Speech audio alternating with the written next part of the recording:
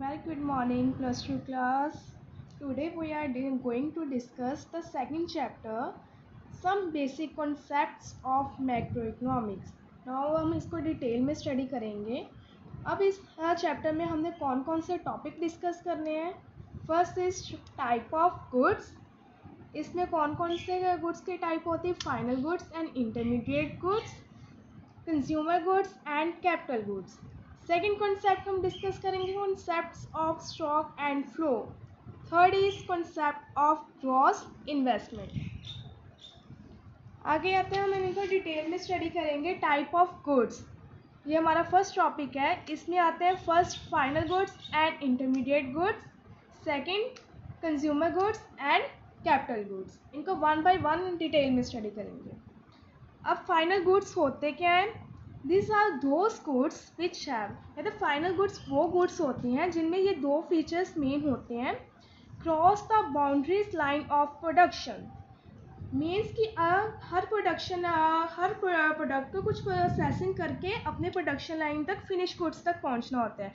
For example पहले raw material था, उसकी फर्दर प्रोसेसिंग हुई, फिर वो फिनिश गुड्स में चेंज हुआ। अब फिनिश गुड तक पहुँचने के लिए वो प्रोसेसिंग लाइन से क्या निकल गया है? बाहर निकल गया जब वो फिनिश गुड्स बन गया तो उसी को क्या कहते हैं? फाइनल गुड्स सेकेंड का है are ready for use by the final user अब इसको फाइनल यूज़र कौन है यूज़ करने के लिए? रेडी है। For example machinery and plants अब इसमें आएगा फाइनल यूज़र होते क्या हैं? फाइनल गुड्स में who are the final user दो तरह के यूज़र होते हैं. First is consumers second is producer consumers final user कौन कौन से हो सकते हैं?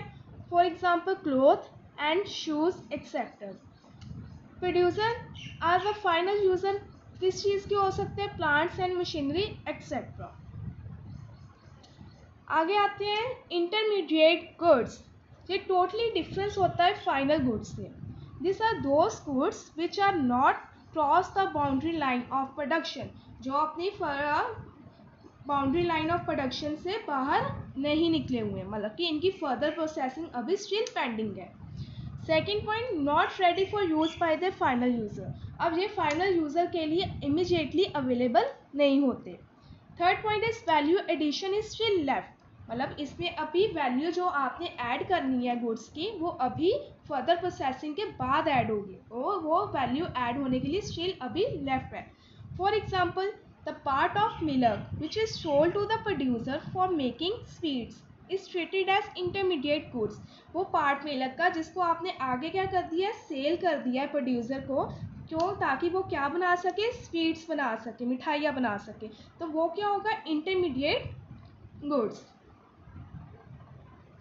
आगे आते हैं इसके difference between final goods and intermediate goods final goods में फ़र्स्ट है this goods are not use as raw material for production क्योंकि ये फाइनल गुड्स ऑलरेडी बन चुके हुए हैं। फाइनल गुड्स क्या है? अवेलेबल है फाइनल यूज़र के लिए तो रॉ मटेरियल की तरह इसको नहीं यूज़ किया जाएगा।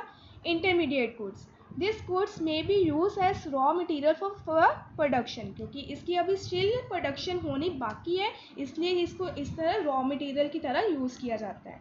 Second point is this goods are not resold by the firm इस गुड्स को दोबारा फर्म क्या करेगी? सेल नहीं कर पाएगी। इसमें कुछ भी एडिशन नहीं कर पाएगी।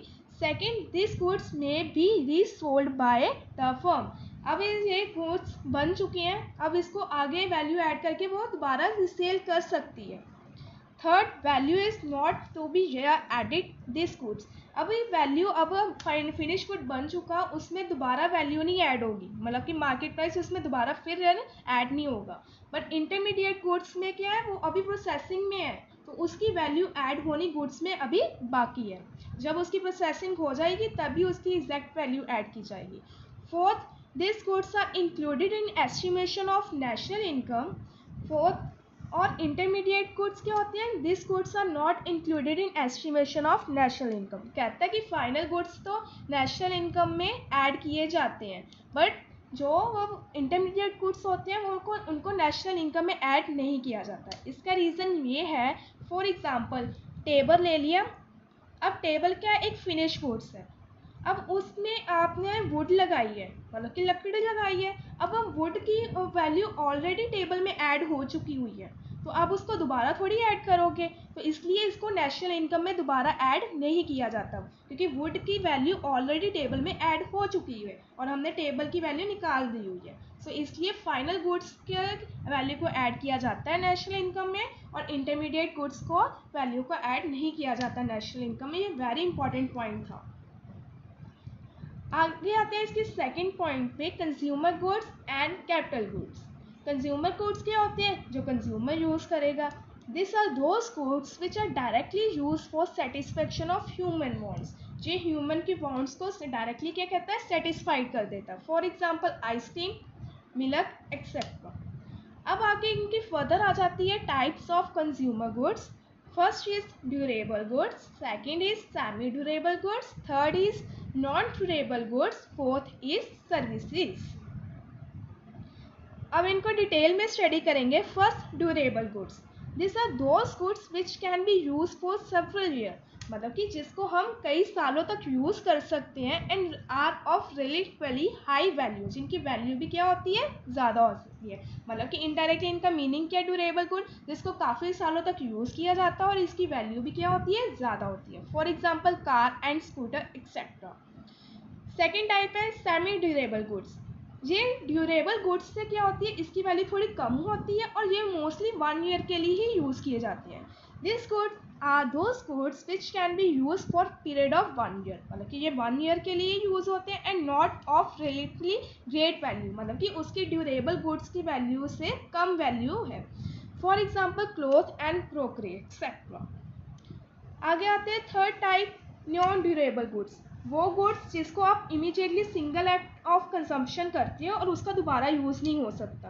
और इसकी वैल्यू भी क्या होती है? बहुत कम होती है। For example perish food food food में क्या आ जाता है? पेरिशेबल वेजिटेबल्स जिसको आप एक बार कंज्यूम कर सकते हो और उसके बाद उसकी सिंगल टाइम यूज़ होता है और उसके बाद आपको उसको कंज्यूम करने के बाद उसका यूज़ नहीं कर सकते। Next type is services services are those which are non material goods which directly satisfy human want जो हमें, जिसको हम टच नहीं कर सकते हैं नॉन मटीरियल गुड्स है बट सेटिस्फाई करती है ह्यूमन वॉन्ट्स को। For example doctor and lawyer etcetera जो हमें सर्विसेज़ प्रोवाइड करते हैं। आगे आता है इसमें capital goods Capital goods are those goods which are used in production process of production for several years and which are of high value, जो कई सालों प्रोडक्शन के लिए यूज़ किए जाते हैं और इसकी वैल्यू क्या होती है? ज़्यादा होती है। और इसको मोस्टली कौन यूज़ करता है? प्रोड्यूसर यूज़ करते हैं। इसलिए इसको कैपिटल गुड कहते हैं। For example plant and machinery जो क्या यूज़ करता है? प्रोड्यूसर यूज़ करता है अपनी प्रोडक्शन के लिए। आगे नेक्स्ट कॉन्सेप्ट है हमारा concept of stock and flow stock क्या होता है? Stock is quantity measure at a particular point of time एक पर्टिकुलर पॉइंट ऑफ़ टाइम में आपका एक क्वांटिटी को क्या करते हो? मेयर करते हो. फॉर एग्जांपल आपके बैंक अकाउंट में एक जनवरी 2019 को कितना बैलेंस था? वो उसने क्या कर रहे हैं वो स्टॉक है आपका. एक एक टाइम पीरियड में आपका कितना बैलेंस था? सेकेंड एग्ज़ाम्पल क्या ले सकते वाटर इन टैंक टैंक में कितना पानी है?